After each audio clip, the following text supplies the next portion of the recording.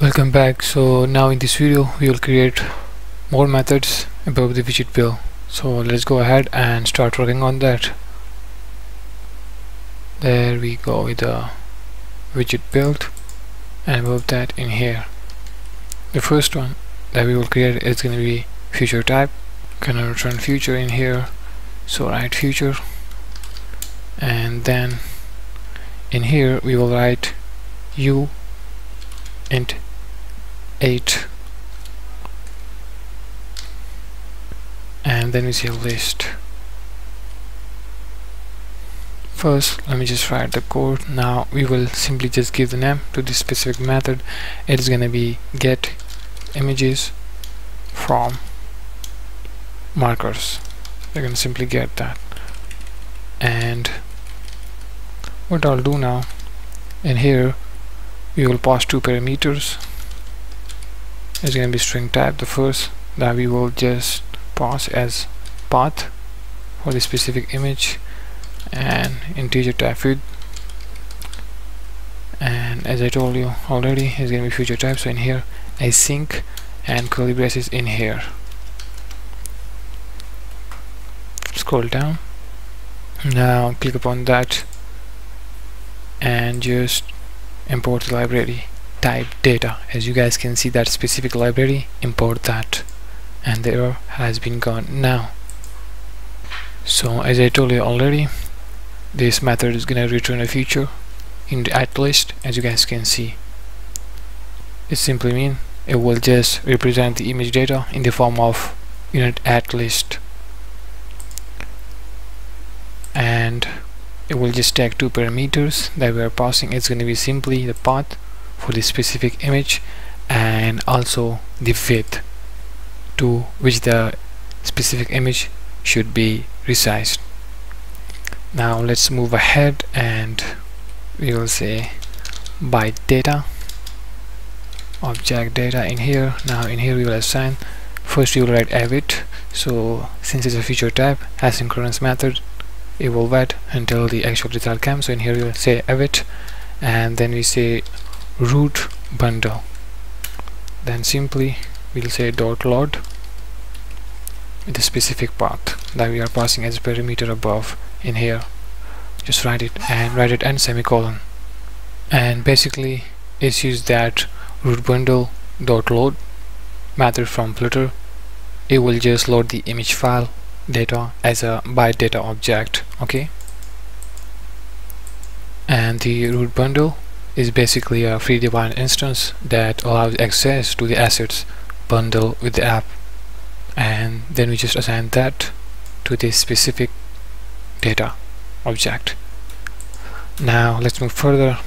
Then we say UI dot codec in here object name codec and then we'll just assign first we'll say await since it's a asynchronous method in here await and then we say UI dot instantiate. Let me just write it first then I'll explain it. Image codec. And then we say in there data dot buffer and we can simply just refer as a Uint8List in here as you guys can see the segregation now in here comma and let me just scroll to the right side so that you guys can see it easily. Now we'll say target height. Here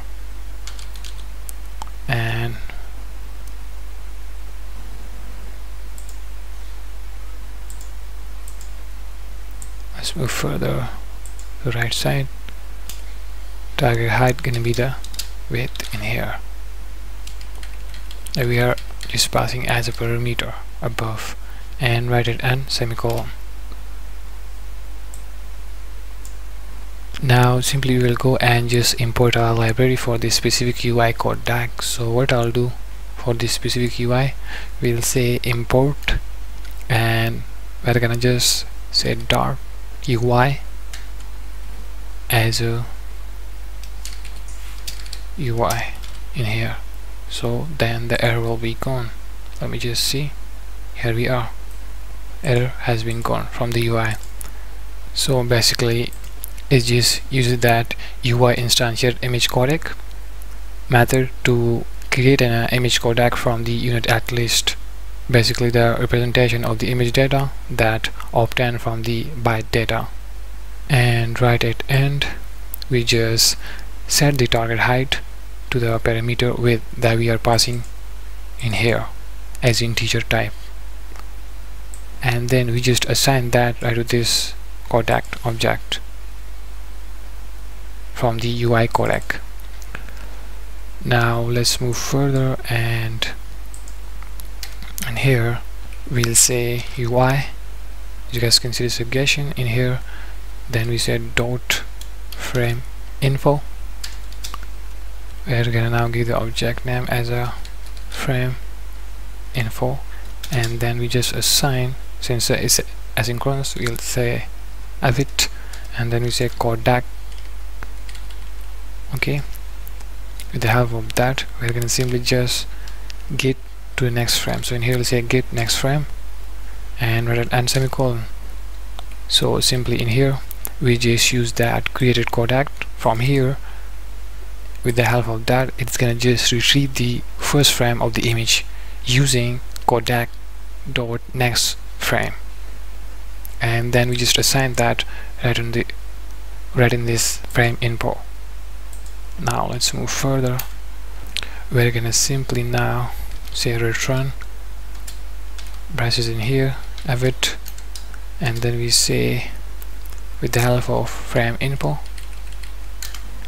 In here we're gonna simply then say dot image dot to byte data. And in there format gonna be simply UI dot image byte format and it's PNG you guys know that okay? Let me just show you right in the images. PNG okay? Now with it we're gonna simply say exclamation mark then we say dot buffer and as a Uint8List we'll get it right at end semicolon all just fine. Now let me just explain it. So basically this line of code it will just convert the image specific image to a byte data object in PNG format using that specific line of code. And right after that what it will do it will return the image as a Uint8List by accessing the buffer property of the obtained byte data and we will get it then. So that's why in here we just return it. So I hope it's clear now. Now we will move further and create another method. So above the widget build in here let's create another method by the name pack data. And this will be future type so in here async asynchronous. And then now we're gonna use the for loop in here. First let me just write it I'll just explain it later. In here we will take the integer type a variable and gonna assign 0 from the 0th index it will start and then we say a less than images dot length. So it's gonna then just get the images and check upon it from the zeroth index and let me just show you. It's gonna be that one. And when the loop completes it's gonna then simply come for the second one and so on. So that's why in here we just provide the total length of images. And right after that in here semicolon and then you will just increment that variable a because there is seven images and we want to just get that in a manner. We have to increment that. So it will just come back right to the specific images. And right after that in here curly braces take this down. Now we will say right in here final key is going to be non-changeable. Then we say Uint8List in here. And then icon in here icon marker so let's add it in here. And then we'll simply just say await since it's asynchronous so we have to just wait until the actual result come. And then we say get images from markers the method that we created a while ago. So call upon that in here and now we'll just provide the path and width in here. So the path is images okay? Because we have to check upon all of the seven images. So that's the path with a specific index number. So on the zeroth index there will be a first image then on the first index there will be a second image and so on. So we have to provide the a in here since the value will be incremented and it's gonna just check all of the index number. And right after that in here comma and then the width we will set it to let's say 90 for now we will just change later if this will not be proper now write it and semicolon. So as I told you already we just call upon that specific method and await until the actual result will come since it's an asynchronous method it's gonna simply just load the images data for the marker icon. And you guys will notice that whenever all of the code will be completed and then you will test the app. And guys remember that that this specific method that we just created in here is a asynchronous okay? And it's just returning Uint8List so that's why in here we just assign this in the icon marker by Uint8List now let's move further now we're going to simply just add the markers. So in here I'll say my marker and then we say dot add. So let it end semicolon. Let's get this brush down from here. Now in here we'll say marker and gonna provide the marker ID so we'll say marker ID and the ID gonna be simply for the first image it's gonna show a different digit number because we are just starting from 0 and it's gonna then check all of the images one by one. So in here you'll have that variable integer type and we're gonna simply just convert this to string. So in here we'll say dot to string and write it and comma. And also in here comma and take this press down. Right after that we're gonna simply have the position okay. Let me get this down from here. Position. So position gonna be simply the latitude and longitude that we just provide in here. You guys can see that all of the latitude and longitude for the specific images. So by the name lat long for images. So we have to just copy that from here and go down right in here the position paste it and it's gonna simply just then get one by one all of it. So in here we have to provide that variable a because it uh, is gonna start from zero and check one by one. So we have to provide that specific index number in here and right after put comma in here and then also we will just provide the icon. So in here we'll say bit descriptor dot from bytes. And in here we'll say icon marker. So it will just show that and right after that comma in here get down. Also we will show the info window info window in here. There we go. Now in there we'll have a title and the title is gonna be. First we will write a text for it title marker and then we will just print it. So what I'll do in here we'll say dollar sign and a and come in here. Also in here. And this bitmap descriptor from bytes gonna just pass the icon for marker okay? Now we are done with that. We're gonna call upon the set state in here.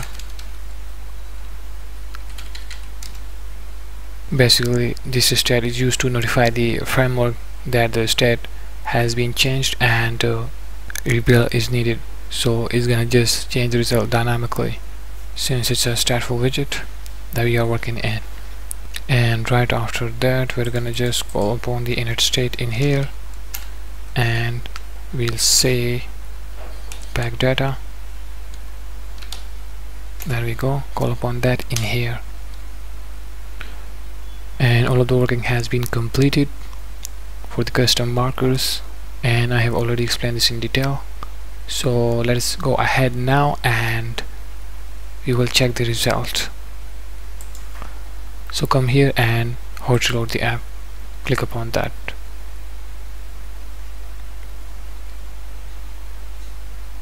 And it's working totally fine and you guys can see that specific markers okay? Custom marker that we add uh, icon images for it. You guys can see the car right in here okay? And the other one right here. And let me just there we go. As we choose the different latitude and longitude for the specific marker icons and you guys can see that in here. Let me just zoom out. There we go okay the bike car in here also in here. There we go with the Lamborghini the bike in here and also this specific two car right in here. So that's how you guys can simply add the custom marker in the Google map. And if you guys just click upon that specific icon it will just show you the info window. Let's go ahead and click upon it. As you guys can see title marker one on the bike here we are and also the other cars. Okay?